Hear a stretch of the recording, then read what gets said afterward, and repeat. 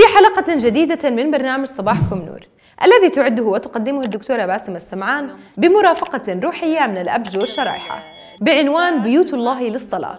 فقد استعرض البرنامج نشاطات مكتب فضائية نور سات وما قدمه من تعريف لتاريخ إقامة بيوت العبادة منذ عهد الملك سليمان إلى علية صهيون. كما استشهد البرنامج بحادثة طرد يسوع للباعة في الهيكل. فإلى هناك. أبونا.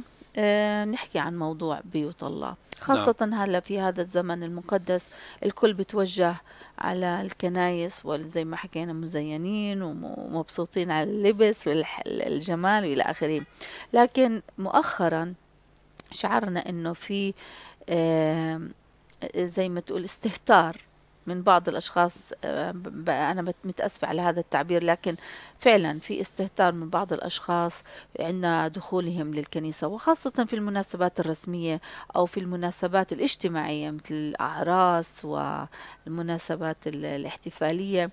إنه م- عدم الاحتشام في اللباس عدم احترام المكان بيستعملوا الهاتف وهن بقلب الكنيسة الكلام اللي مع بعض وفتح القصص بالكنيسة مع إنه بيت الله وهو تجمع لشعب المؤمن لكن أيضا ما بدنا نغيب آه، حرمة المكان زي ما بيحكوا رهبة المكان لأنه إحنا لما بنيجي على الكنيسة بنيجي عشان نصلي لكن أمور الأخرى بنتركها خارج الكنيسة.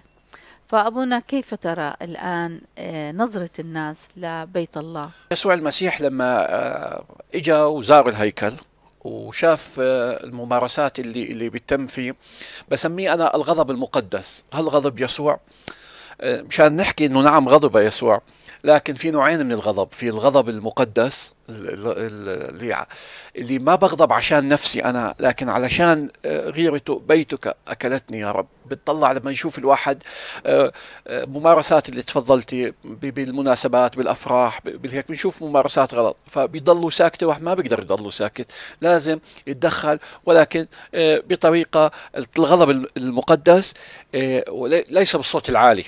ومش بال بال بال باستخدام لا سمح الله الإيدين. لكن في إيصال خطورة الموقف اللي قام فيه الشخص نوضح له فيفهمه فهو من نفسه بخجل على حاله من هذا آه، الموقف. نعطي تقوية الكنيسة حقها. والتقدم والتطور وكل اللي بنشوفه آه، القدسية وجوهر وروح الصلاة لا يتبدل ولا يتقدم بكل التكنولوجيا اللي إحنا عم بهاي عوامل مساعدة فقط.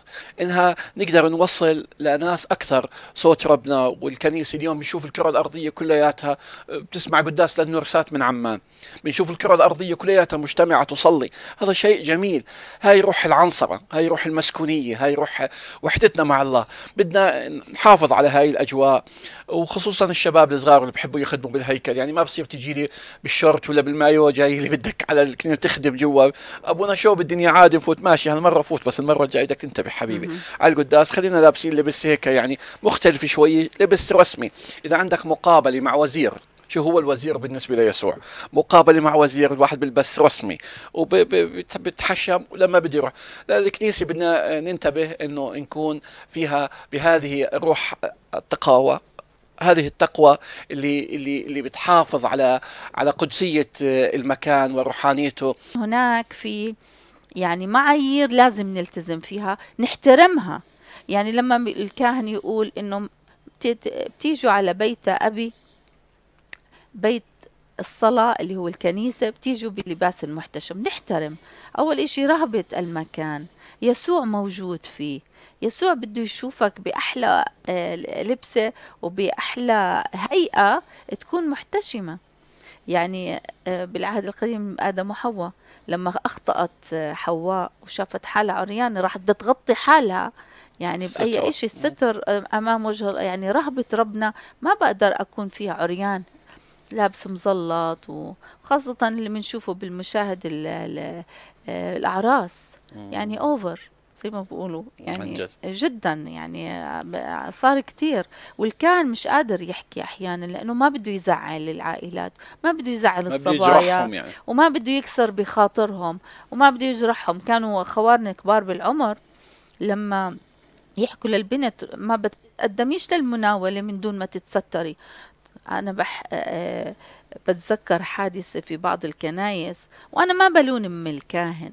لما عروس رفض الكاهن الكنيسة اللي بده يقوم باحتفال العرس رفض إنه يكلل إلا للست تلبس عليها العروس تتستر لأنه كان الفستان كتير يعني كان over فحكى لي الأبونا ما قدرت. فحكى له قال له من وين بدي أجيب هلا اشارب وجاكيت كان دنيا صيف. قال له ما إلي دخل لبسها جاكيتك. ففعلا شال الأب جاكيته ولبسه للعروس على كتافها عشان تدخل الكنيسة ويخلصوا الصلاة. طبعا صار في زعل كتير من بهذا الموضوع من العائلات من الأبونا. لكن أبونا إذا بده يتنازل فصفى ما فيش التزام ما في احترام. يعني اللباس بيعكس ما في داخل الإنسان من إيمان. طبعا. خاصة في حضور الله في بيته في كنيسته. فموضوع الحشمة برجع لقلبك ولا إيمانك. وموضوع الحشمة برجع لقلبك ولا إيمانك. في حضور الله بحياتك وحضور الله في الكنيسة.